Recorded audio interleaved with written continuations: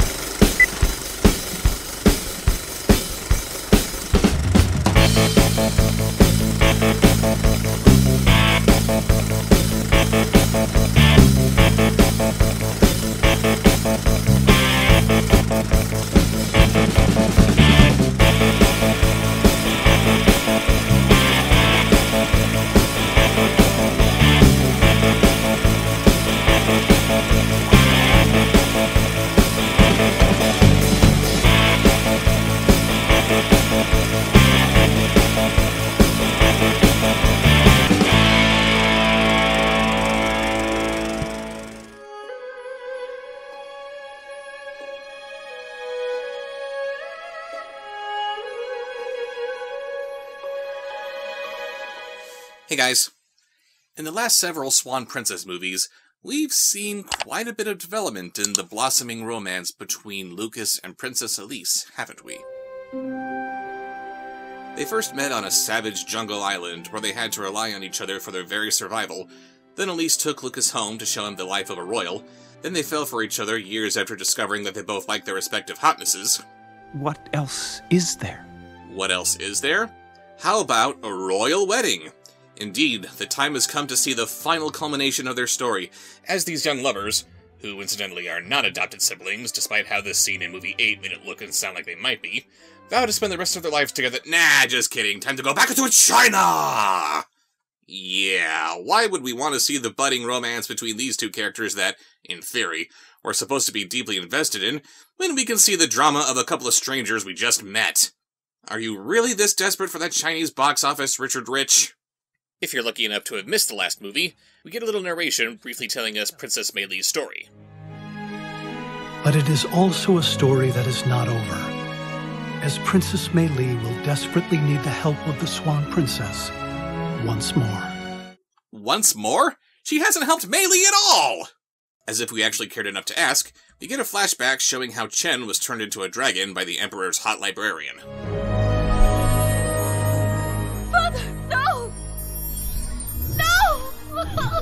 Chen, I'm so sorry.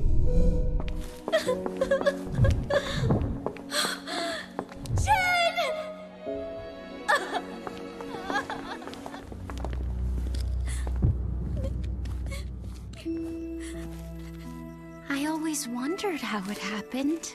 You only met her a week ago. There is no always. Mei Li asks if she and Chen can stay there in Swan Princessistan. Odette convinces her that she should go back to China or else she'll get homesick, ignoring how harboring refugee royalty would probably spell disaster for her own country. And she and Derek will go to China with her to make the case for why the Emperor should let her marry Chen. I always said I'd follow you to the ends of the earth. Ends of the earth? Here we come! You really have nothing better to do, do you? No, I do not. But wait, you might be asking, where are Lucas and Alise? They left off camera to go to a tulip festival.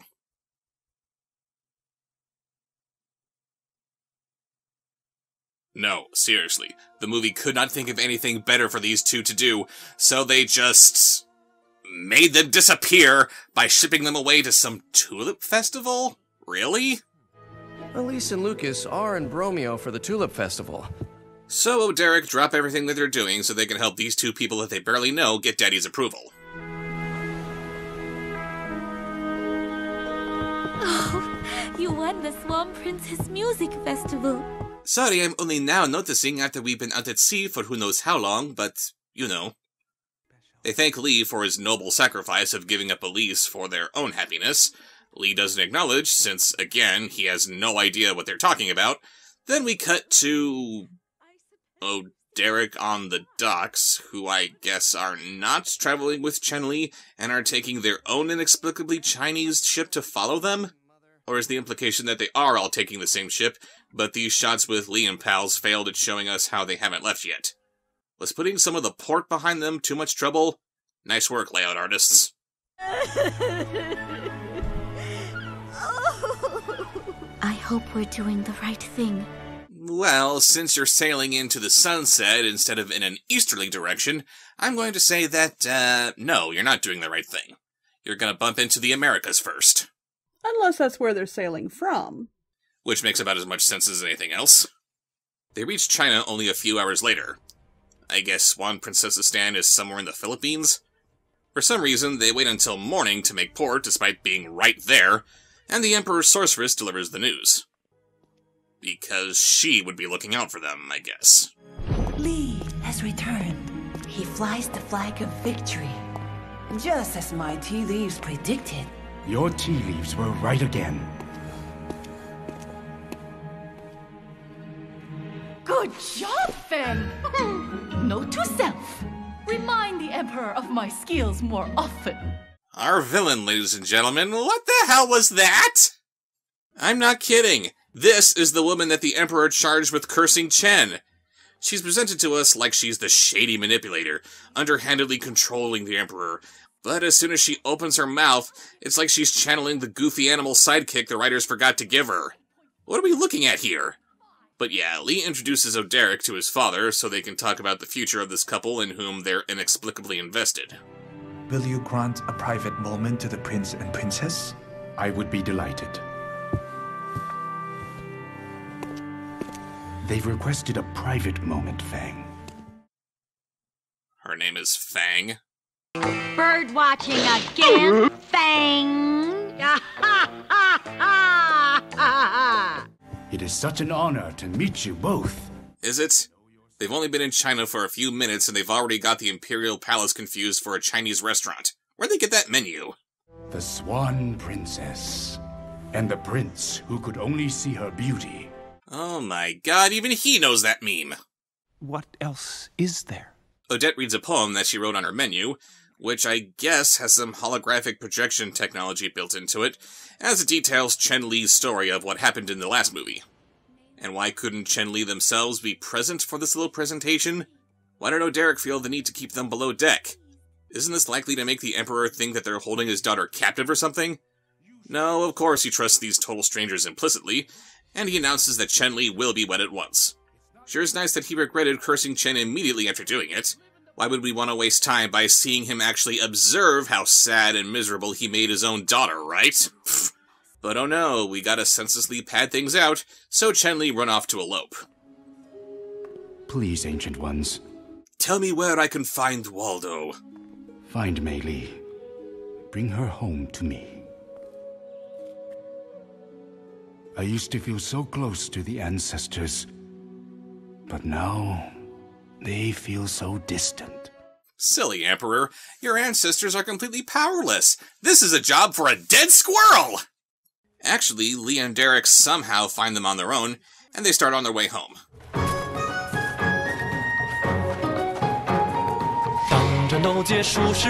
Derek, you try. 当战斗没收后 When the battle is over, not when the battle's lost. 站的时候要站得更高，站的时候要站得更高。 Pursuit the shooter, Pulong shooter. All right? Okay. Yeah, that's nice. Laugh at Derek's first go at singing in Chinese when you never even attempted to sing in English like the other finalists. What's the Chinese word for douchebag? Mei Li runs into Feng, and it's here we learn of her dastardly plan. Chen will be mine. You love Chen? yes. And I will be his wife. Yep. That's it. She doesn't want to increase her power, or enslave the Emperor, or rule China or anything. She just wants to. marry some guy. And they never tell us why. We know literally nothing about Chen, aside from how he's a painter. They don't establish anything about what kind of relationship he and Fang might have that would make her so gaga over him. There is no reason at all for her to want this guy, except for the movie needing some kind of conflict, and this was the best they could do. And why did she turn him into a dragon? Seems counterproductive. Maybe she doesn't have the same stigma against marrying dragons that Mei Li might have. I don't know. Instead of Fang using her godly powers to do something simple like make Chen and Mei Li forget that they ever loved each other, she instead opts for turning Mei Li into a little old lady Mei Li. You will grow weaker each day until the moment Chen lifts the wedding veil and our eyes meet. Then you will pass from this world to live with the ancestors. oh, perfect fit. It brings out my eyes, don't you think? This will never work. I will tell the Swan Princess. Tell the whole world. no one will ever believe you. They met this woman because she said that a witch turned her boyfriend into a dragon. If she said that the same witch turned her into an old hag, maybe that would be worth looking into. You will never feel the love that Chen and I have. You are evil, and our love is pure. Bad is bad. Good is good. Bad, bad, good, bad. Good, good, bad, good, bad, good. Fang turns herself into Mei Li, she catches up with the guys and kisses Chen, and you'd think that this would be the point where Chen realizes that there's something terribly wrong because the kiss isn't what it should be. But no. He falls for it hook, line, and sinker because all he needs is for a woman to look like Mei Li for her to be Mei Li. What else is there? After turning herself back to normal and chewing the scenery a bit. What a bunch of chumps! Not even the Swan Princess can tell who I am. It's like taking candy from a baby. A really tiny baby who's nodding off to sleep. Fang tricks Oderic into going back to Swan Princessistan by telling them that Uberta has suddenly fallen deathly ill, but they're stopped by the real Mei Li. Believe me. Believe you? My apologies, Princess. Yeah, don't say something useful like, I'm actually Mei Li and Fang turned me into an old woman. Please. Move along now. Please, sir. Be gentle. She's old and weak. This is none of your concern. I agree. Who the hell are you? I'm calling it now. She's his consolation prize because Lee gave up his true love, Alise. Several hours and a few hundred feet later, why don't these movies know how to traverse water?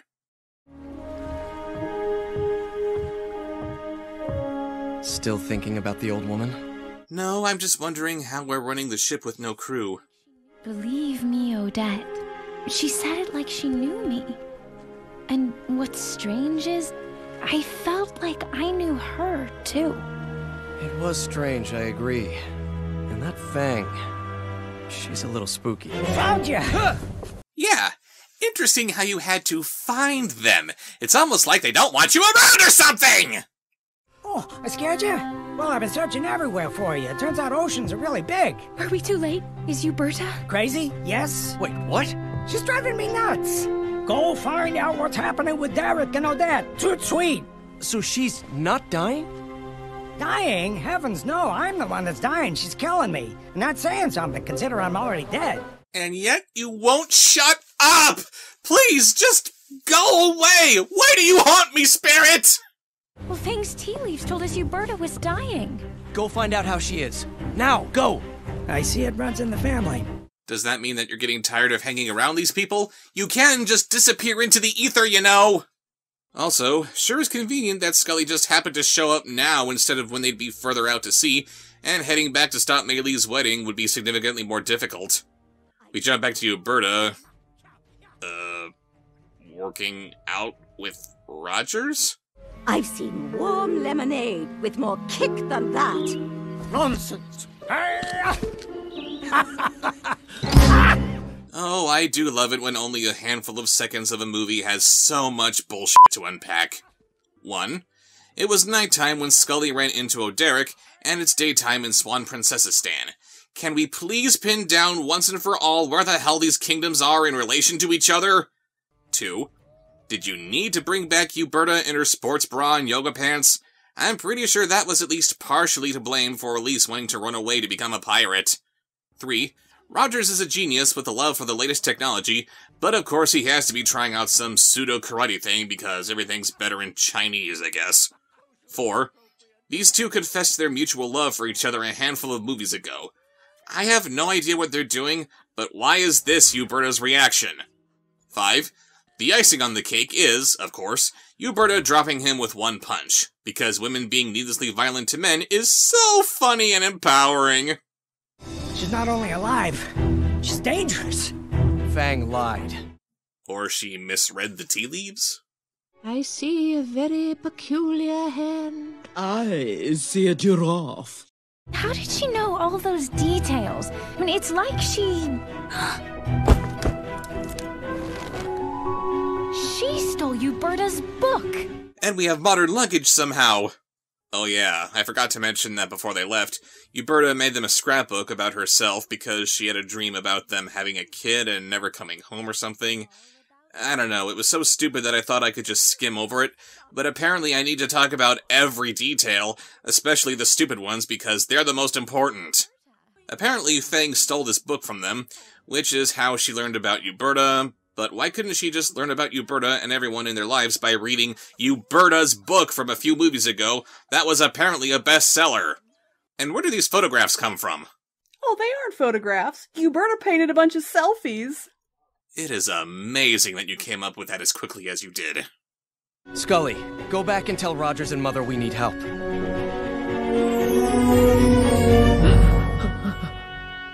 I've broken nails. Baby, do you want this one? Thank you. Amelie and Shen getting married? And it just goes on like this, with Scully leaping back and forth between Uberta and Oderic. Is this really necessary? I'm honestly surprised that Rogers didn't give Oderic his prototype for a smartphone. Stop! You gotta go now. Tell him we're on our way. Wait a second, one last thing. You can't go as Lord Rogers and Queen Uberta. This Fang lady read your book. She knows all about you. So? With absolutely no explanation as to why they need to do so, Uberta and Rogers disguise themselves as some kind of opera singer and a steampunk Mark Twain? And I have to roll my eyes at how Uberta has to look like a clown more than the literal party clown that they threw into the second movie, and she's sharing a screen with these people who look as realistic as possible. Gotta make sure that all the dignity the movie can muster has to be given exclusively to the Chinese. I'm definitely adding this to my Book of the Month club. Stop confusing me, movie! Oh, Oderic take a lifeboat back to China, because taking a lifeboat somehow gets them back in a few minutes. Space is warped and time is bendable. And Uberta, Rogers, and Odette's animal friends take off in a carriage with a balloon strapped to it. No chance of them flying through a lightning storm, I suppose. Wait, this balloon doesn't even have any hot air apparatus. That's because it runs on bullshit. No hot air necessary. Isn't there any in-flight entertainment? Oh, very well. I'll provide the entertainment. Is it too late for me to jump? I should have known Fang was up to something. I won't let her hurt Mei Li again. Let's go to your father and tell him what Fang has done. No, we can't. Not yet.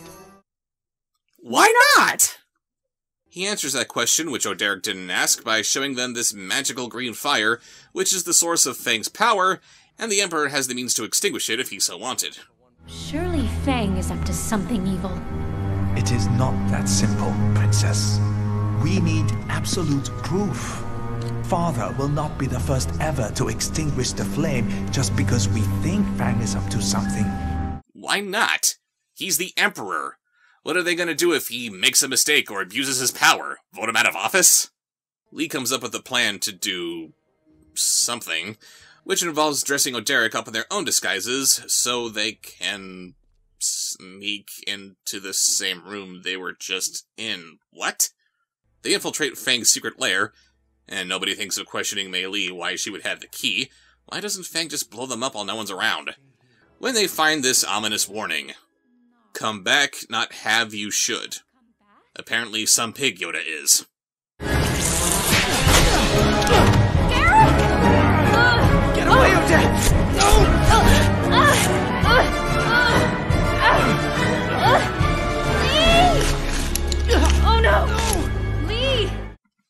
that's your reaction? No, no, no, no, no. I guarantee you that if a six foot spider is coming at you, your reaction is going to be, Oh my god, it's a spider!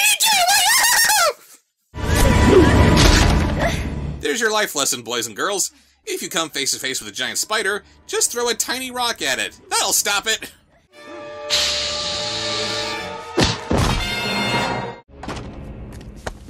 She knows we're back. I told you. She knows everything. Well, there must be another way to prove she's up to something. Was her warning written in a spiderweb not enough for you? She tried to kill you, you dumb bimbo! These could be the marks of friendly cinnamon scented mice. But don't worry, Uberta and pals are here to save the day. Hey, look. You can buy a statue of Bigfoot for your garden. So, before the invention of commercial flight, before the invention of printed material, before the legend of Sasquatch was even conceived, Rogers just makes this magazine for Speed to have something to read on this apparently very, very short flight?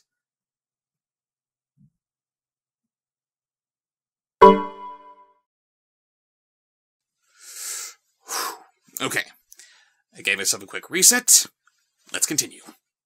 Wait, the back cover has an ad for the Jean Bob Show? God damn! And for the record, no, I'm never reviewing that. Never say never.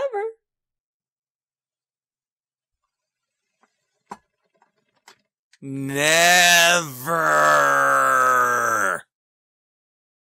Hello, everyone. I have arrived. And you're turning into the lady from Go Hugo Go. They meet up with Oderic and go back up to discuss their plan. Why couldn't they do this on the ground? Okay, from the top. We use my fame as an international singing star to get us into the royal palace. Right, and then? Then I'll find Fang and keep her distracted. While? While we sneak into her lair and find the proof we're looking for. Perfect. Point of clarification. We got a queen, a genius, and two heroes, but the bird, the turtle, and the frog are doing all the dangerous stuff? That does it. Richard Rich, hand the director credit over to Jean Bob. He needs to be in charge of this movie.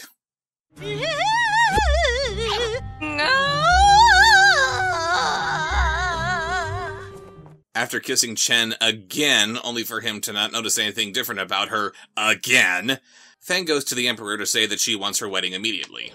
I have nightmares that. that Fang. that she'll ruin everything. Oh, is my daughter afraid that this woman is going to ruin her wedding? No matter. Since I am the Emperor, that means that I'm more or less a demigod, so I can do whatever I want. Off with Fang's head! There you go, child. Meanwhile, Oderic are looking for the old lady, despite being completely ignorant of who she is or what role she has to play in this, which means that they have absolutely no reason to look for her.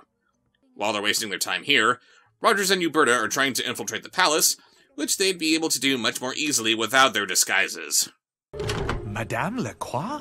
I can't believe I'm actually meeting you in person. You weren't there when everyone was discussing their plan. How do you know what she's doing here?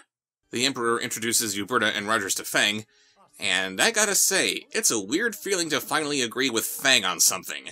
Come on, do your thing. Show me some magic, a card trick, anything. How about I make you disappear? Fang! No, no, I like it. Behind that feline beauty, she's got some real. I'm gonna make you the world's greatest um, magician. Send this clown away. Do you command me? No, that was a plea for mercy. Please send this clown away. And his divine emperor was pretty defensive here, wasn't he? Seems like he could command anyone to be killed and no one would dare oppose him. Is doing away with Fang really that impossible? He has Fang show Rogers the magic fire, and I have no idea why. Is this the kind of thing you want to show a complete stranger?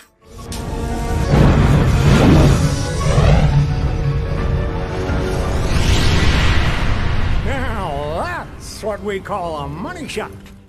No, this is what we call a money shot.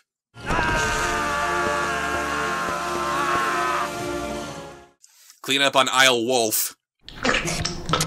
Tour's over. What? Come on, baby, you call that sorcery? No, no, no, no, no, no. Put Mr. Pittypecker down.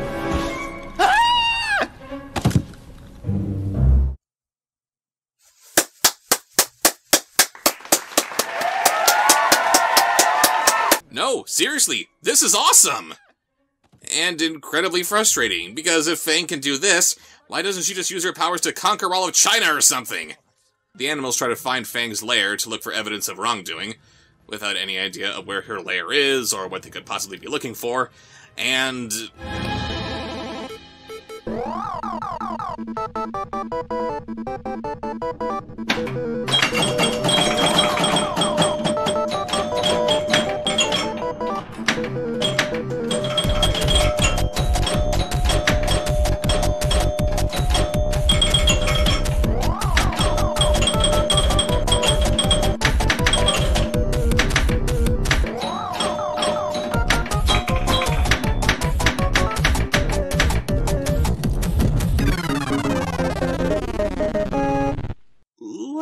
Just pretend that that didn't happen, okay?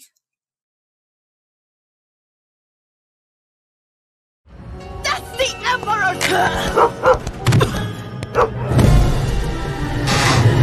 No! You don't stop intruders by opening more doors and letting them escape! What just happened? I mean, I was looking right at it and I saw everything, but what just happened? And if this is the same spiral staircase we've seen a handful of times already, they're falling directly into the very place they've been trying to get into. How convenient. Also, why is Puffin falling? You can fly, you idiot! I never said I wasn't a drama queen. They survive their fall without even bothering to show us how they survived it, and they find. Uh, this. Hey,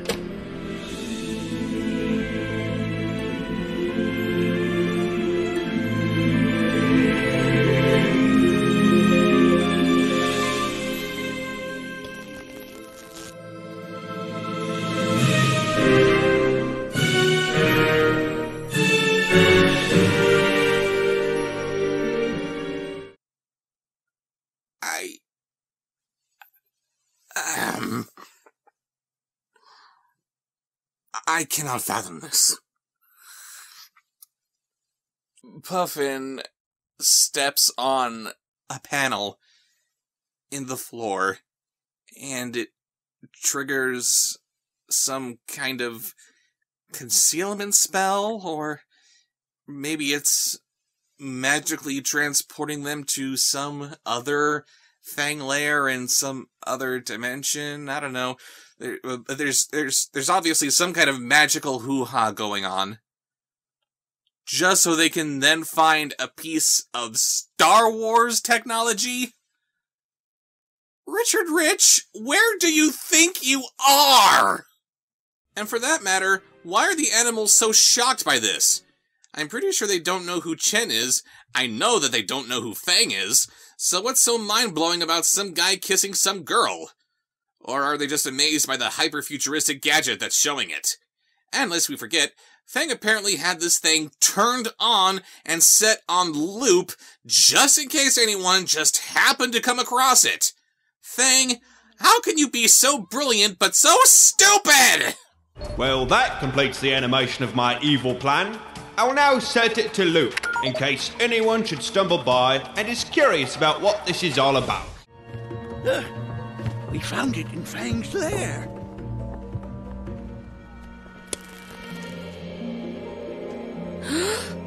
Fang loves Chen? Well, this is our proof. If Fang loving Chen isn't proof that she's evil, I don't know what is.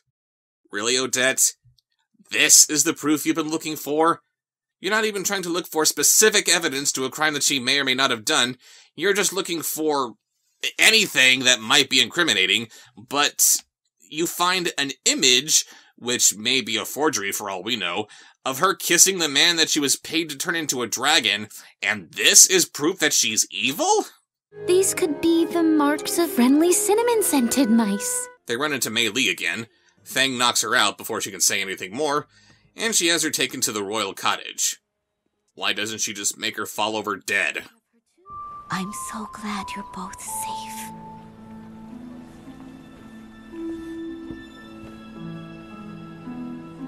That was sure strange. You're telling me. You're not telling me you want to clue us in as to what just happened? But because Fang loves twirling her mustache, she blows her cover in the stupidest way imaginable. They have no idea who the old woman is. Zip! The old woman is Mei Li. Come on. Oh, come on, Fang! What's the rule? Look both ways before changing. It's a simple rule. And maybe don't laugh. I'm the villain and this is my evil plan! Back with the real Mei Li. I can't blame you for wanting to be Mei Li. She's the most wonderful person I've ever known. So, if someone tells me you're mad for believing you're Mei Li, I will tell them, no, that woman is the most sane among us. Because everyone should wish to be Mei Li. This is complete bullshit, of course, but man does it sound profound. The only way to make this more cliche would be to put Confucius say in front of it. Aw, that was so touching it made her painting go into 480p. And then Little Miss Consolation Prize shows up. The woman you brought here, may I help take care of her? Please, just give me something to do so I can be in the story long enough for the prince to marry me. Fang cuts off Oderic before they can tell the Emperor what they know. Then they show their hand like a couple of morons. Chen belongs to Mei Li. Chen belongs to Mei Li? What's wrong with that? I say that I belong to you, and you say that you belong to me. Well, sure, but that's us saying that about ourselves. She could have said, Chen's in love with Mei Li. She could have said, Chen's destined to be with Mei Li.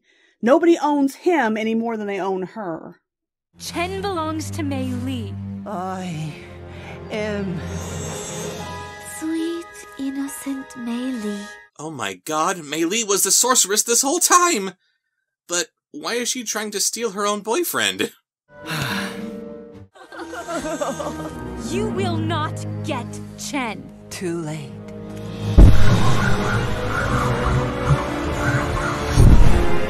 Oh no, they got sucked into the Emoji Movie's Instagram! We'll always have Paris, Mary. Actually, if they were in this painted environment, interacting with the Emperor's ancestors, that might be kinda cool. But no, they're just stuck with a bunch of static images floating in space. Well done, Swan Princess 10. You've succeeded in making me say, the Emoji Movie did it better. And nice going, Fang. Not only did you fail to kill your enemies again and grant them the chance to escape and foil your plans, however slim those chances may be, but by poofing Oderic into Chen's mural, you've basically removed even more of your motivation for chasing after Chen. What do we know about him? He's an artist, and nothing else. What else is there?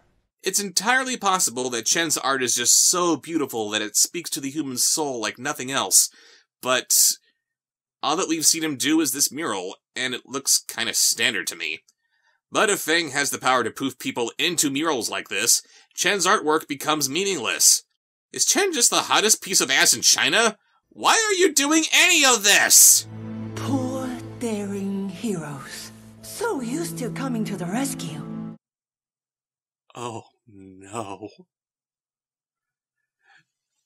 There's no one left who can save the day. Except for fucking Scully! Now that's a 10, Fang! A 10 all the way! Chicka chicka fang fang! For the love of God, please stop! She's supposed to be Maleficent, not Luanne Platter! I'm a virgin! Lee shows his father the hologram projector, and then the Emperor just walks away. Wait, That's it? Not, oh my god, what's that amazing device you're holding? Or, oh no, Fang is in love with Chin. Just facepalm bye now? What else is there? He goes down to extinguish the flame, but Fang tries to talk him out of it when, again, she could just, you know, use her magic to stop him. You lied to me. To think how you made my daughter suffer for your own selfish desires. How you made this whole kingdom suffer. Wait, what did she do to hurt the entire kingdom? I think the implication is that if Mei Li is in pain, the entire kingdom is in pain. Bit of a stretch, maybe, but if that is indeed what you're implying, your divine emperor, you told her to do it, you flaming hypocrite! I have done wrong, divine emperor. But for the sake of the ancestors, for all the ancestors who have passed, and all who will come. Ancestors who will come? Those aren't ancestors, they're descendants. I'm rotten to the core, core, rotten to the core. Walked right into that one, didn't I? She says that she'll leave the kingdom forever, and because the all powerful emperor is a giant pushover, he lets her go.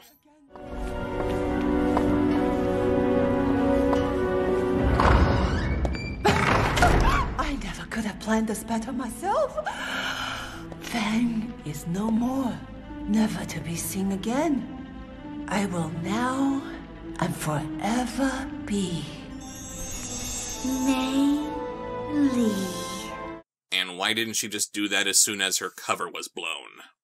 Lee and future Princess Consolation Prize finally meet with all of 18 minutes left in the movie. The first movie wanted to take a jab at Disney's princessy love at first sight trope by having Derek want Odette just for her hotness and nothing else, and then kinda sorta appreciate her other attributes at the end, regardless of never learning anything more about her. And what do we get in this movie?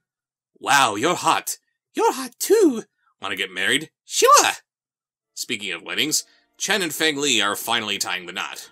Oh, sure. Have the bride being walked down the aisle by her father who's giving her away. Have the ceremony held not in a temple. Have everyone standing. Just take a regular Western wedding and toss the bride in red. That works.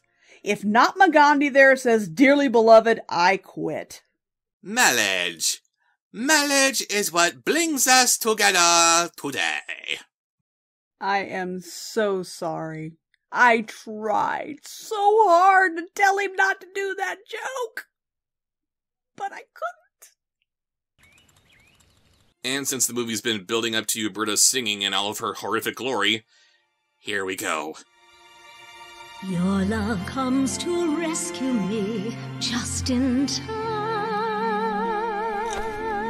Giving all you reach me just in time. Everything, all I could do or love or sing now makes a new forever dream for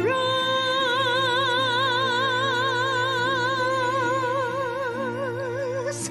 My heart will always beat. The sun will always shine. It's amazing.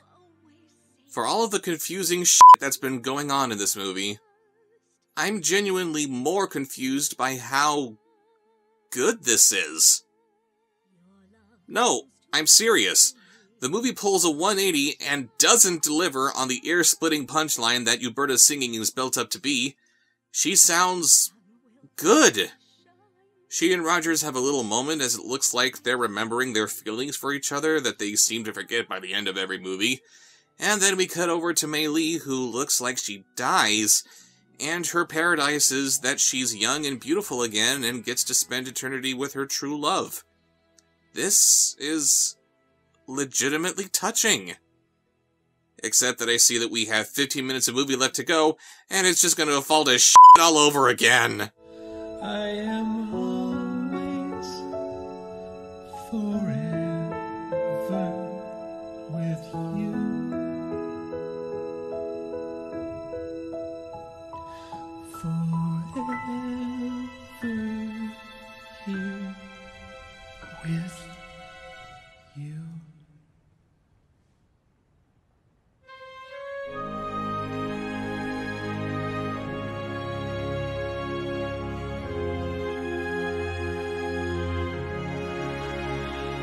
Oh no. Are you serious? The tear is going to free Oderic?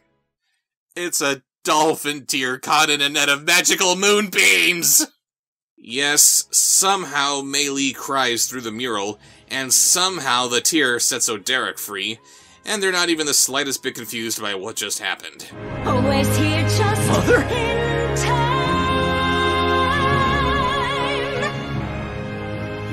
Eyes will see one last beautiful thing. Because I know that you're Li and that you're dying little by little. Not that I'm actually doing anything about it, because. um. profound and mystical and stuff. He arranged for Li to stow away on Lee's boat. He knew that Lee was going to fall in love with Alise and then give her up for reasons beyond his understanding, and that somehow that would break Chen's curse. He's playing matchmaker to Lee and Princess Consolation Prize, and now he knows who this little old lady is, and he's just gonna let her die while watching something beautiful because, as you said, profound and mystical and stuff? Who is this guy? Chinese Jesus? Each and every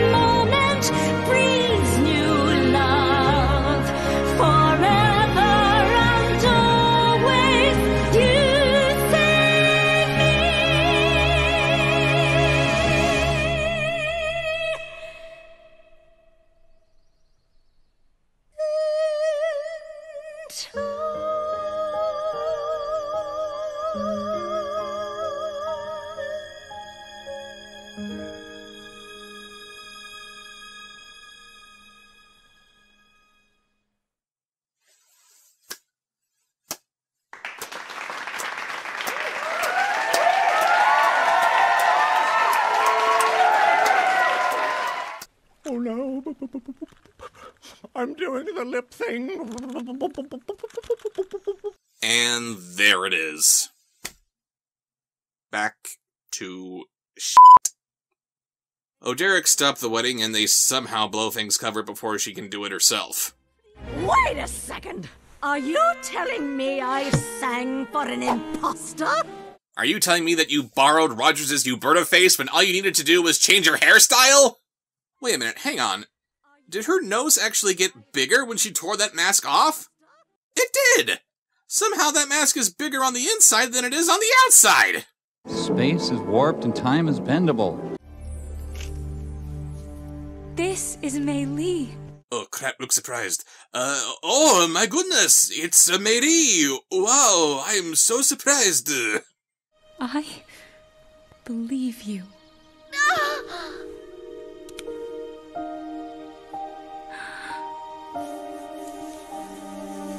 What was that? She goes back to normal because Odette believed her?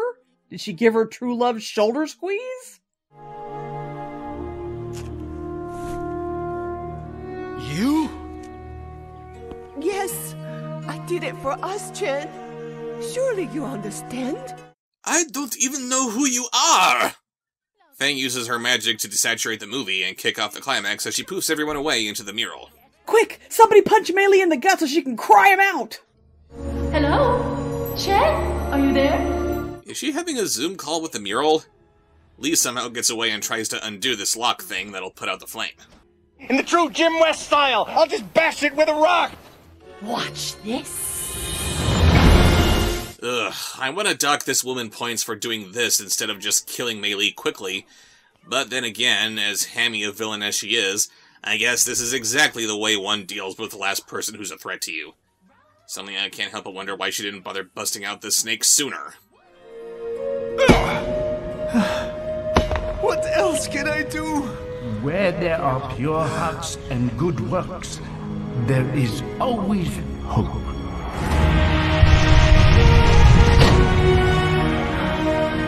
Thank you.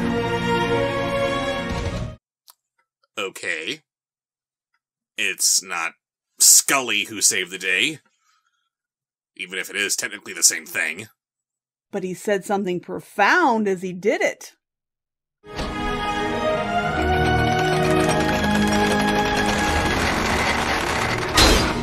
Whoops! Rolled a one on his ability check. Wow, that was pointless. Speaking of pointless, Fang is chasing Mei Li around for a bit instead of using her fire breath that I guess she always had.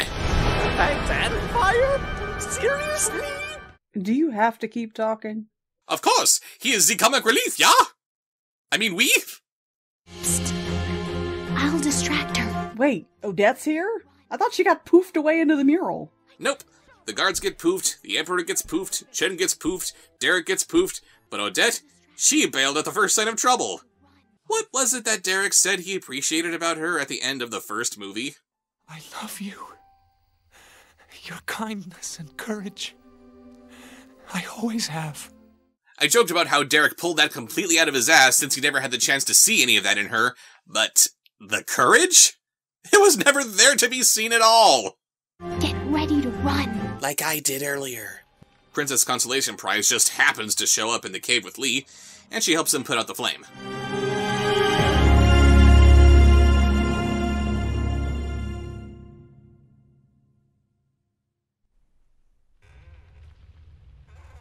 Well, crap, that didn't work. No, actually, it did work.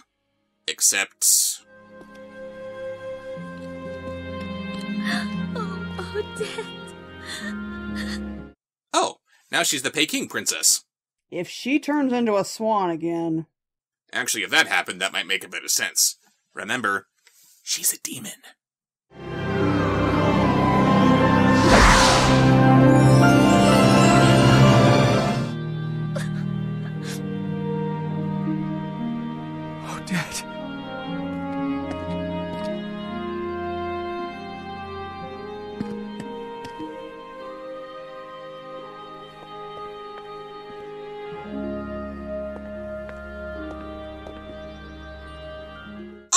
Come on!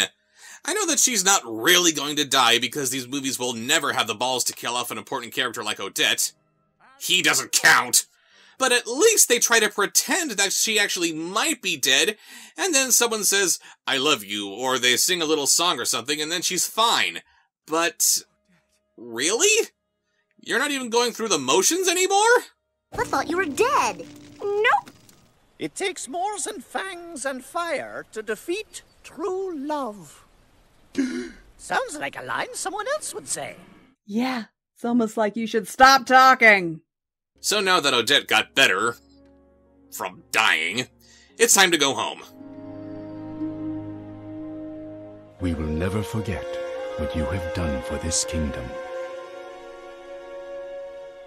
As my father has spoken. AKA what he said. But much more profound. As my father. No being profound for her, all those vagina emotions.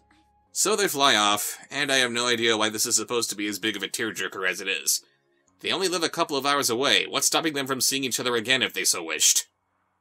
Ah, times have certainly changed, Drew. My daughter has married a common artist, and here I am, eating in the kitchen. Indeed, they have, Divine Emperor. Go ahead and take note of your daughter's wedding. That's kind of out there. But why are you here in the kitchen exactly? But I think I've taken all the change I can. From now on, Rue, we go back to the old ways. That is so funny. You falling in love with me completely off screen in a matter of seconds? It's ridiculous! Hmm. Did you know about this, Rue? The times are certainly changing, Divine Emperor. Mostly because I arranged the whole thing. And of course, Princess Consolation Prize is on the mural after Lee only just met her, because true love, or something. I guess since Chen is the royal son-in-law, that gives him the freedom to just paint whatever he wants without getting the okay from the Emperor first. And how many times is this movie going to end? It ended with Mei Li dying. It ended with Odette dying. It ended with Oderic and her friends going home. It ended with the times a changin'. It ended with the mural. It really could have ended with the last movie instead of leaving it on to be continued. How many endings does a movie need? The last 15 minutes of this movie lasted a week. Lord of the Rings didn't have this many endings. So that was The Swan Princess, or Royal Wedding, and it's the perfect marriage of what the hell and. No, seriously, what the hell? Just what was even the point of this? Okay, fine, to make money, but is it really worth alienating your audience this badly? The animation is uncomfortably inconsistent. The characters we're supposed to want to follow have been reassigned into background elements. The new characters are bigger attention hogs than Alise and Lucas ever were. Their comparatively more compelling story was completely swept under the rug. Scully is still just. Infuriating. Thing is. what? And the story itself was just a complete waste of time. Here's all that needed to happen. You can't marry Chen. I implore you to reconsider. Hmm, okay. Not to mention, the fact that the last movie made a handful of references to the other movies, implying some desire to maintain their continuity instead of just making each sequel a soft reboot, and all of the focus on these characters in this movie is giving me a horrible feeling that this is where the rest of the franchise is going. Sorry, Swan Princess fans, every sequel after this one is going to be about these idiots. I must repeat that Uberta's wedding song was excellent, but it's far from enough to save this garbage. And what the f was up with that pinball sequence? I never thought that I would say this about a Richard Rich movie, but when the next sequel comes along, I just hope and pray that it'll be a return to form. See you later. Your love comes to rescue me just in time.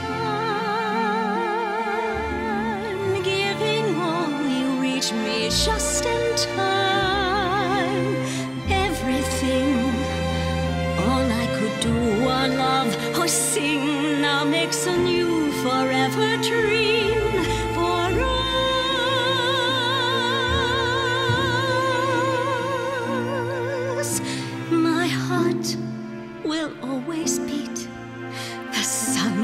sun will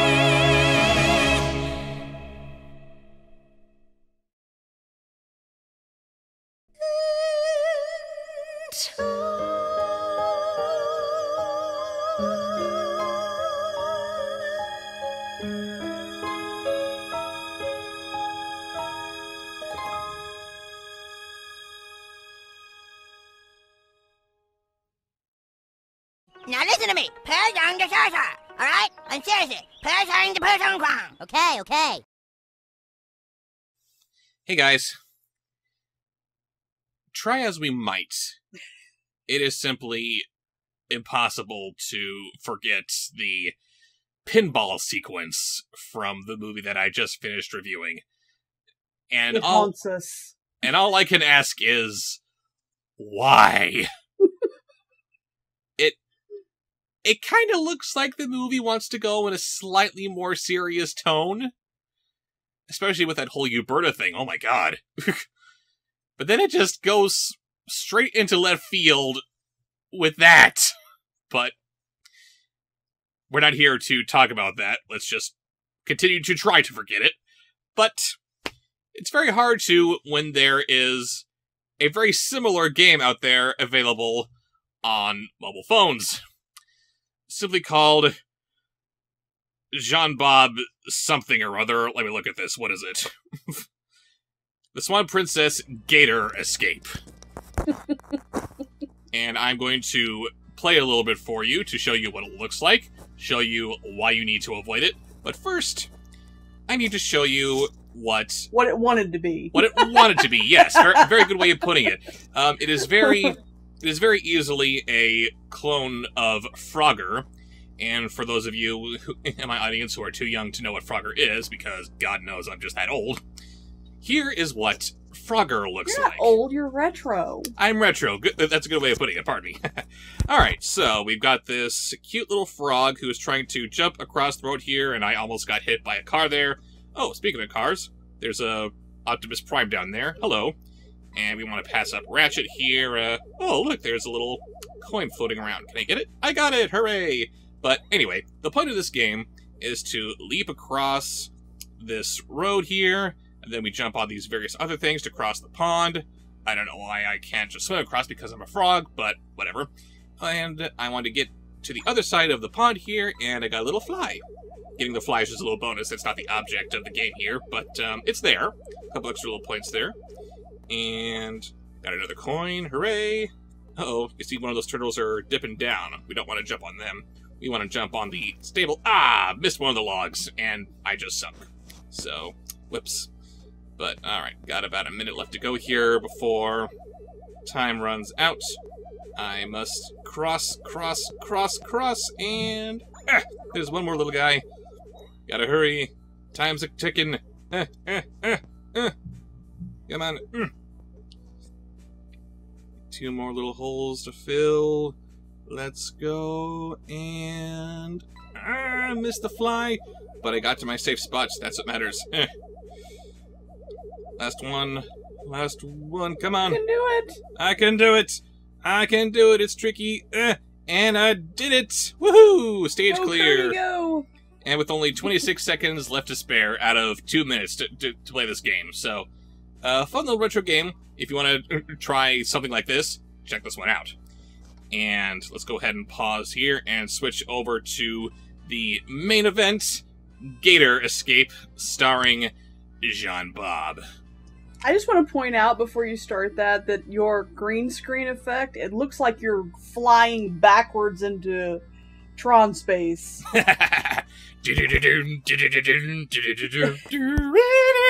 oh, oh! I wish it was Doctor Who. that would be infinitely more interesting than than uh, the Gator Escape game. Oh, totally.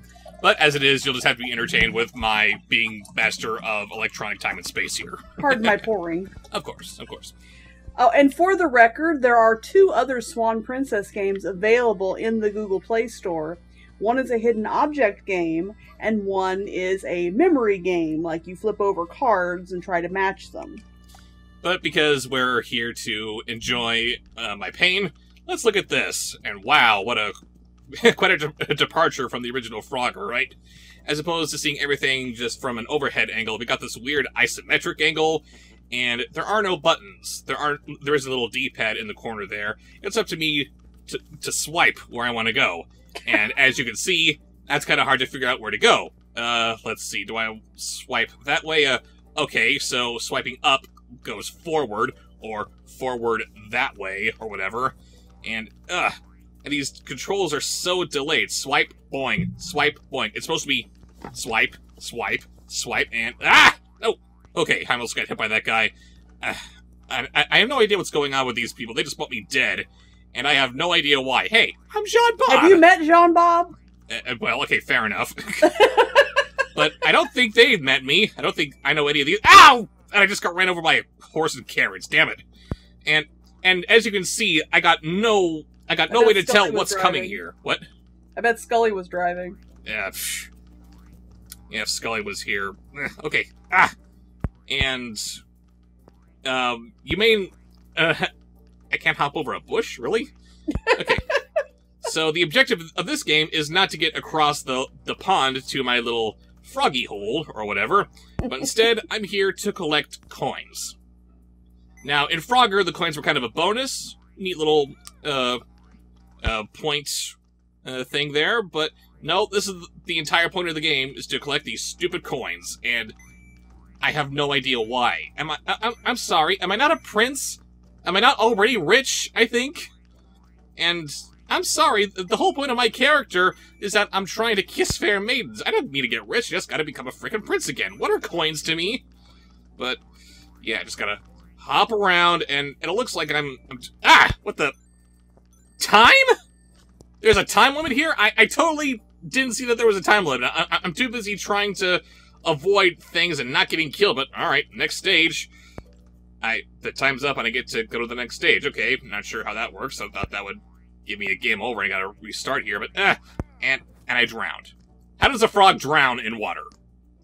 Well, I suppose I was drowning in the last game, so I guess that's fair. I suppose, but eh, no, too many people on these on these boats. I can't go in. Ah, damn it, died again. But okay, You're not very good at this. I am not very good at this. No. and and you saw how I was doing on Frogger. It's it's not that I, I- damn it. I just got bear hugged by mustachioed Lucas. Who are you, Freddie Mercury? But uh yeah, it's it's not me. It's this game. Swipe, jump. It's supposed to be simultaneous. Sure, it's the game. Yeah, you saw how I was doing on Frogger. That was working. Why can't I do this? And let's see. Uh, show me a boat. Show me a boat. Gotta cross this stupid little thing. No, can't cross there. Okay, there's a boat. And there's a boat. And uh, I crossed it. Ha! I crossed the stream. Thank God. Now to collect more coins, cause that's what I gotta do. I guess I can. Maybe I'm figuring I can buy my way back into nobility. I don't know. but uh, and okay, cross that one too. Almost there. Must find. And I freaking died. Come on, come on. Ah, ah. All right, more coins. Here we go. Uh, uh, You're not getting rich No. anytime soon. I am not. I've only got uh, sixty-five percent of the available coins on this. Oh, damn it! Okay, okay. Avoiding that guy. Trying to avoid these characters that just come the hell out of nowhere. Hello.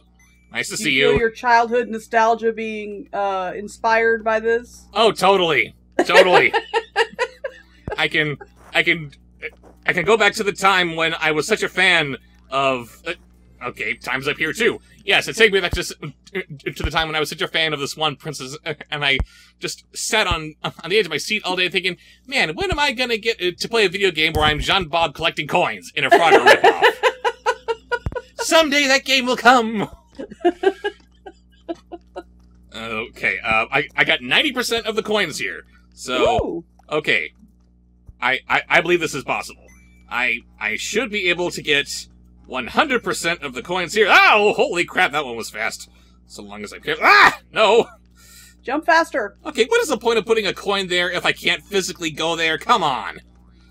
It's, it's, It's a tease. Yes, it's a tease. It's just like my whole role in this franchise. Oh, I am actually, I am actually a prince. All I have to do is kiss a fair maiden, and then I will be a prince again. Oh no, I can't kiss any maidens because I don't know why. Odette, why won't you kiss me, you hussy? See, uh, damn it!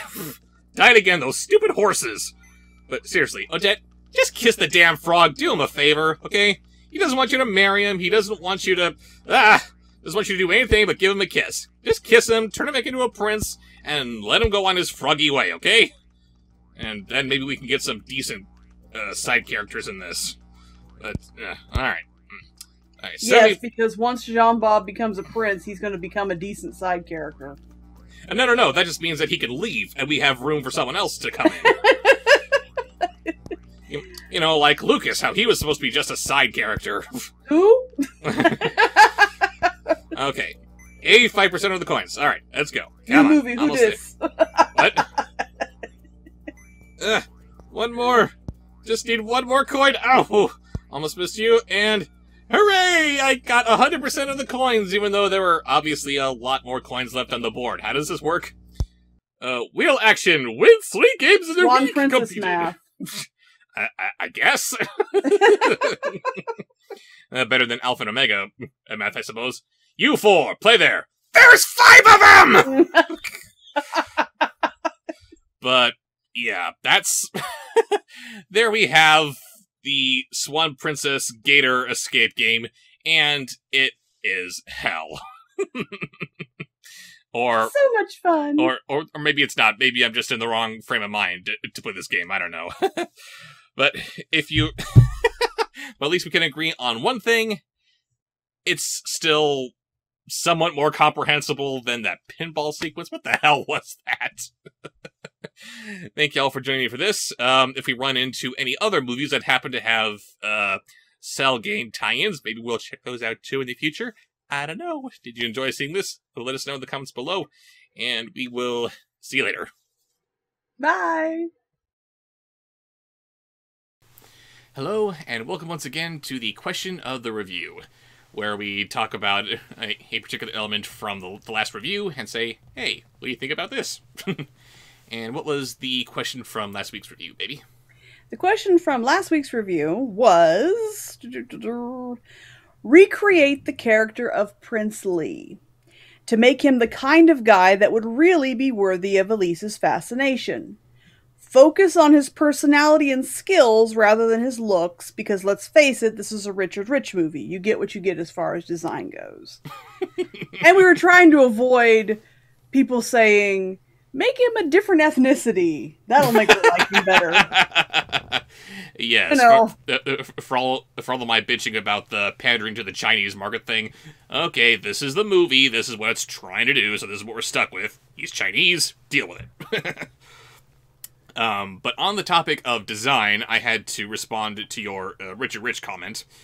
Uh, well, we do know we, we do know that it can always be worse. Alpha and Omega puppies. Not Canadian wolf puppy syndrome. no. Where? Oh dear God, is Leah a five-year-old despite being born like 18 years ago? No, Alise is. Oh yes, that's right. She's perpetually stuck at 14. She is legal, right? Depends on your definition. Um, the uh, rest of my answer here is kind of a conglomeration of what uh, Raven and I were talking about when, when we were thinking about the uh, question of the review here. I think I have a simple yet effective way of making Lee worthy of Alise's attention. Make him Jackie Chan. Seriously, is there anyone who doesn't love him? He's funny, he's charming, he's ridiculously talented, he's a better singer than most people probably know. We have all these other uh, music festival finalists doing these elaborate dance routines with their songs, right? How awesome would it be to see him doing some kind of martial arts demonstration while he's singing, uh, like in uh, Jackie's cover of "I'll Make a Man uh, Out of You"? if you have not seen Jackie Chan cover I'll Make a Man Out of You and watch the original video, it's really good. hmm And again, surprising, because uh, yes, we all know him for his martial arts, but but how many of us know him for his singing? He's actually a classically trained uh, singer. And, yes, and, and how many people know that? uh, let's see what was ah yes. Uh, maybe Alise can be attacked by some thugs while they're making a routine tip, a routine, a routine trip through town, and Lee, martial arts guru that he is, kicks their asses, making Alise even more gaga for him. And on the other side of this is Lucas, who's green with envy as Lee is moving in on his girl, but damn it, Lee is such a good guy that he feels terrible for hating him. Because who doesn't love Jackie Chan? I know, right? Ah, I hate you for moving in on my girl. But, you're, so such a good awesome. I can't say that I blame her. Damn it! I can see the appeal. I'd have him. um, it's uh, funny. Uh, we do get a lot of uh, really good uh, answers for these uh, questions, but some of them we kind of skip because they're. Uh, we come across some answers that don't really answer the question as well as some others do. But um, I had to include Turkish Van 2's answer. You're telling me to look at something other than his looks, but what else is there? It is a Swan Princess movie, after all. It is indeed. You get points for being a smartass. Majinism, I think I might be butchering that. If I am, I apologize. Please forgive us. Says, make him smart, adventurous, kind, a good ruler. You know, everything everyone else in the past seven movies isn't. Suggestive and a burn. Sage Man says, Well, I say change up his musical style and his appearance to match. Uh, blue hair and a ton of makeup. Pure K pop. Yes, I know he's Chinese, not Korean, but like some cheap Richard Rich movie is going to care about which East Asian country the individual culture components come from. Because Very of good China! Definitely. I'm I'm sure that in my ripping on this movie, my stereotypical that Chinese accent is bleeding over into stereotypical Japanese at some point. I don't know. But keep in mind, there is a difference. He's not ripping on China because China. No. He's ripping on it being I am ripping- land of mystic and magic and I am ripping on Hollywood's China. There's a Yeah. difference. Need something whereas mysterious? Go to China, there's a different difference between a China and China. indeed, indeed. Brian Humeres says maybe Lee could be a stone faced prince that has incredibly high standards and doesn't tolerate nonsense. Later on, the main characters discover that he is this way because his father instilled many values in him so that he could be a great emperor when the time comes, and that they were very close. When he passed away, Prince Lee was devastated that he decided was so devastated that he decided to harden his heart because he felt that it show if he showed any perceived weakness, then he'd be letting his father down. The movie would go on and he would come to terms with his father's death and he'd become who he used to be for the better. Become who used, his father used to be for the better, I think is what he's saying. Mm-hmm. And on that note, maybe it could give him a parallel with Odette, who also lost her father. This would give her some importance to the story. Once again, you know, her being the eponymous character. yes, she who apparently has no responsibilities as a leader, who I guess had no rearing as a princess and or queen. She just kind of is. is she just a figurehead while Lord Rogers is ruling everything? What? Who runs the kingdom? It's not Oderic. It's not Uberta. She went off on a book tour. I, I I think it has to be Rogers. Him being a lord and all. But that doesn't qualify him to be the monarch. Uh, well, what does in this kingdom? Apparently, they. Just like in Alpha and Omega, they can hand out titles like Valentine candy. Hey, Lucas, you're a prince now. Uh, okay. I'm gonna go hide in a tree.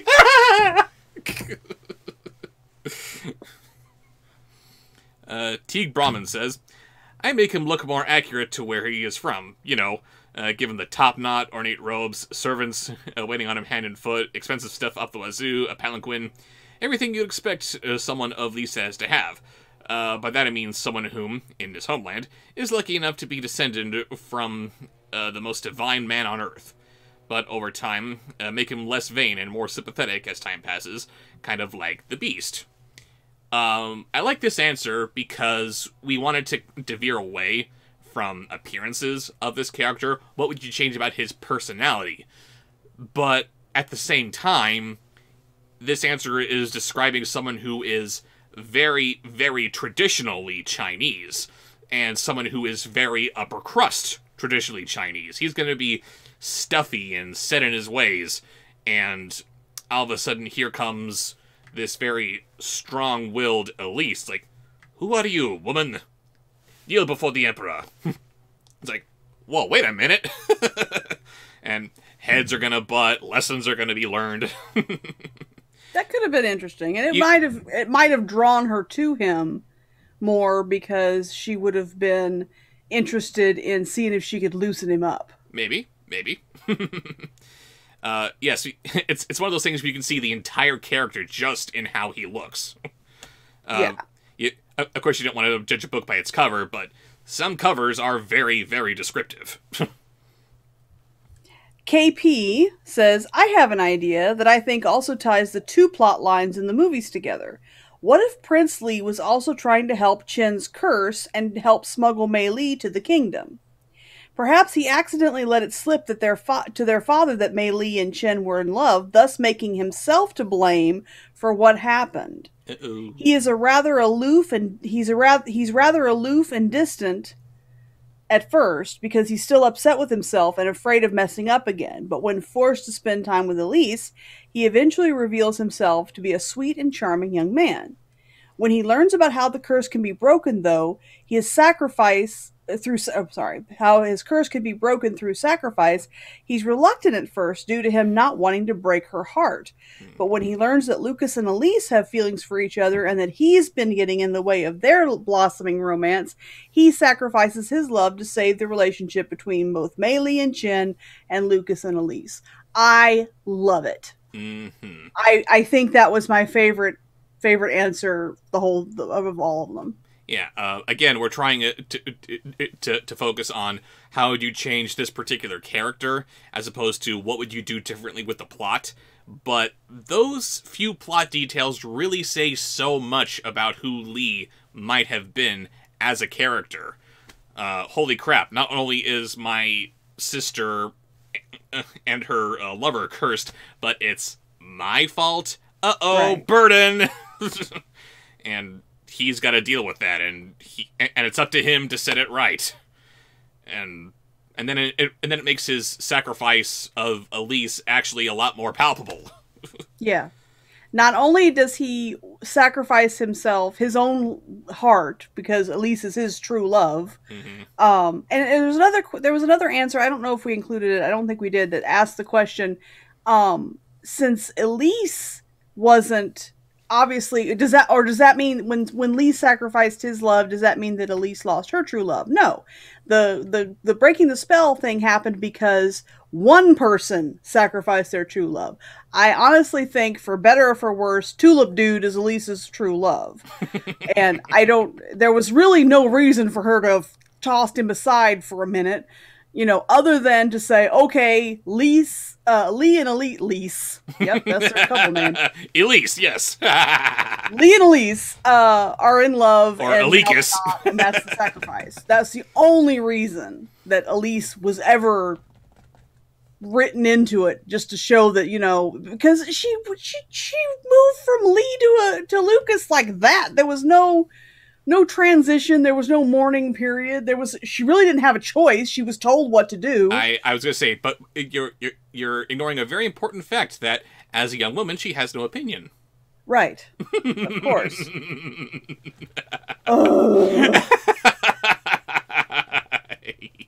The thing with Alise and Luke is okay, Ali Lee, if you want to call him Lee, Lee made the sacrifice, but he didn't know he was making the sacrifice. That was the point that we made in the review. And that's a so big if deal. he knew that it was his fault that Chen got cursed in the first place. It was his fault that his sister was unhappy, and it was becoming his fault that he was putting a wedge in between these these star-crossed lovers, Lucas and Alise. No, this And happen. that could have been a major redemption arc for him. Is like, okay, I'm going to set my happiness aside. I'm no longer going to be a factor in their relationship. I'm going to redeem myself for the mistake that I made, and you know, I'm a good guy. Absolutely. So yeah, that was definitely my favorite question, my favorite reply to this question of the review. Good job, KP. hmm Uh, ben, the summer man, says, if he wasn't such a pretentious stick in the mud, maybe he'd be tolerable. Maybe the personality we see in this movie could be a facade he puts on to maintain an air of royal dignity. His upbringing could have been extremely strict, so he's had to repress his true emotions, but inside, he's actually sort of a goofball, with a creative and sensitive side. Uh, music might be the only way he can truly express himself, and throughout the course of the movie, Alise could actually have a brain and notice uh, some little hints of Lee's personality shining through when he's practicing. Uh, then she'd help him break out of his shell, and they'd grow closer that way. Or something like that. If they play that up a little, he might be a decently interesting character.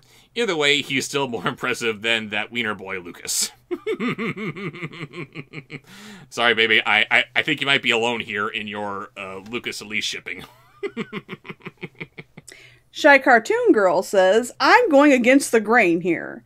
Let's make Prince Lee the main villain of the movie. That in itself, yes, that would definitely make him more appealing to Alise. Because they love the bad boys. They love the bad boys. Lee's personality is that he's charming, charismatic, funny, but selfish, sly, cunning, ambitious, and entitled underneath, making him the perfect foil for Alise and Lucas's romance conflict and to help tie in with Mei Li and Chen's subplot. That's just what I think would work for the movie, or, you know, possibly make it better than what we got. There, it doesn't take much to make it better than what we got. It does not. Um, but that's another really, really good idea. Is that but see then that wouldn't have broken Chen and Mei Li's curse because if he was all you know, he would have had to legitimately fall in love in spite of the fact that he was just being ambitious and trying to climb the They- royal food chain, gain power for his per- his kingdom and The social ladder. yeah, he, get- he he had to have accidentally fallen, and truly fallen in love, and then made the decision to sacrifice himself. So while it's a good idea, I think it would have been kind of sticky to actually break the curse that way. Or, you know, we ignore the whole self sacrifice thing anyway. And again, we got all these other uh, uh, uh, finalists, one of whom we know for sure can turn into an animal. Maybe you want to talk to Humbalani there? I'm sorry. True, they could have found a different way to break the curse. He turned into a panther! Anyone? Hello? But while I don't think that Shy Cartoon Girl's uh, answer fit in with making, I mean, with uh, fixing the problem, with being a better, a work, a workable plot, it definitely would have made Alise more fascinated with him because it would have been a bad guy, and she just, just would have fixed him. I can fix him. I can make it better. he just needs the love of the right woman. Sorry, Alise. There is no the one. I gotta be free. uh, Max's channel says he saw the entire world and went on many adventures. He is fearless and well studied in the ways of many cultures of the world. He is also open minded to other people's cultures and ideals, but still has his own strong moral compass. And just like what we were talking about earlier with the ladies loving the bad boys, they also love a man who's worldly. True, true. Oh, please teach me. he I think he was meant to be shown as a good future leader, someone with a strong moral compass and all that, but it was just so poorly done. um, and while that's a good answer, I don't think that that would have attracted Alise to him. Don't think so? No. Why not? Because when did she when did she fall for him? Um, when the script demanded it. But what specific scene showed that she started to have feelings for him? The harp scene. The harp scene when he was being artistic and sensitive like Lucas. when he's all, you know, a true ruler accepts uh, ridicule, you know. yeah, uh, no, he doesn't. broken tulip, you know, the whole broken tulip thing came after the harp scene. But uh because he was being poetic. hmm A strong moral compass, that, that's not Alise's thing. Remember, she's the modern princess.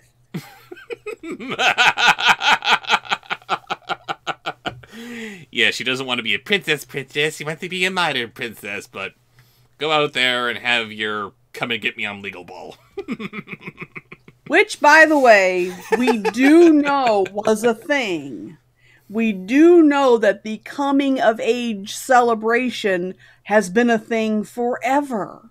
In a lot of But different cultures. When these uh, traditions originated, if I may go off on a rant a little bit, it wasn't that, oh, she's a grown up now. She gets to make her own life decisions. She gets to go to college. She gets to get a job. No. she is take her parents are taking bids so that she can go off and make babies, which is her only real function in life. Hooray for making babies! So all the people that explained to us that coming of age balls and quinceañeras and, and debutante balls and, bat everything were a thing. yes, we know they were a thing. Thank you for that information. We did know that. But they're icky because it's un- unlike uh, it's showing that a boy has become a man so that he can, you know, start a family and get start his career and go to war and you know all the other adult things that he does as autonomously as a child can't do. All it meant for a girl was that now she's old enough to have sex and make babies. That's all it meant. She didn't get any extra privileges. She might have got a party if, if her parents were wealthy But then again, she was a princess who doesn't even have any kind of uh, political power whatsoever. I'm just a princess. So None. I'm rich and you do what I say, and I'm living the high life and I have no responsibilities anyway, so take that for what it is. I don't know.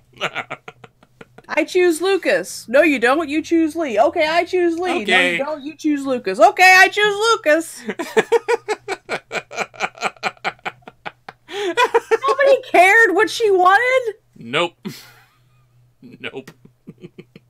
Anyway, sorry. it's okay. Matilda Brunn suggests that, says, I would suggest scratching the whole I hate you because you're a jerk, no wait, now I'm in love with you trope. I hate that trope. Yeah, thank you, Star Wars. I love you, but we can have some actual legitimate relationships here, please. Not everyone has to be Han and Leia. Having him laugh over Alise's prank would give him them a decent starting connection, and then you can just have them spend more time together, and the conflict being that Lucas feels like he's becoming a third wheel rather than him suddenly have feelings for Alise. So, I don't know that that would make Alise more attracted to him, um, but as far as making him not as as Ben said, without so much of a stick up his butt, um, that would maybe attract her if he was less hoity-toity. Oh my goodness, this greeting is so very rude. Oh, but it's okay, I'm laughing at it now. What? Yes, if he had laughed it off and thought that it was just as hilarious as Alise did, that would have instantly bonded them. hmm Oh, hey, I could be friendly with you, and I could be friendly with you too. Great! Let's see where this goes. and we have to end on uh, Mackenzie Ebby's answer here, which is just so out there. but it deserves a mention. He made me. he made me discuss this answer. You could have said no. I tried. You tried, but you couldn't go through with it because it's a good answer, despite it being so out there. I'll be honest. My solution would be to make him gay, mainly interested in Alise as a means of a political marriage with someone who is a friend, and actually develops a crush on Lucas, uh, with Lucas too oblivious to notice. Lee and Alise bond with their interests in the arts, and Lee revealing he's insecure about his masculinity by his father and people, uh, with his sister being a more dominant force. I hated and loved this answer at the same time. but I could not deny the fact. I'm sorry, gay men are so sexy. A lot of them really, really are. They try to make themselves especially pretty for their They potential take care of boyfriends, don't they? oh my god, he's so cute! They're well groomed. And he's and he's in touch with his feelings and the arts, no! and meanwhile, here's poor Lee. Hello, Princess Alise. I am growing very fond of you. we should probably get married, don't you think? And it was not uncommon. Nope. That's just how it was done. You didn't marry, you know, royalty especially did not marry for love or attraction or anything like that. you married to for political power for your family and to carry on your family line. Mm, And you didn't have to like doing it. nope. There were a lot of princess beards. Sorry. and on the flip side That's of why I couldn't just outright say no to Mackenzie's answer. Because it happened a lot. and and it and it's just so lucky that uh, Lee happens to marry Alise here because now they get to, uh, to employ that uh, cute little tulip boy too. I hate you so much. oh, Lucas, someday you will be mine. Anyway, now that we've been completely off- ended on a very offensive note, hey, if it's funny enough, then it's okay. but yes, now that we've answered all the uh, the uh, best answers of this question, again, some really really good ones, but we can't talk about all of them, or we'll be here all day. And again, we're looking at a review that's almost an hour long. We got to cut corners here somewhere. But uh, thank you all for uh, uh, contributing to this question of, of the review. And be sure to uh, give us your answers for the next one, and we'll see who we read off next time. And we will see you later. Bye, guys.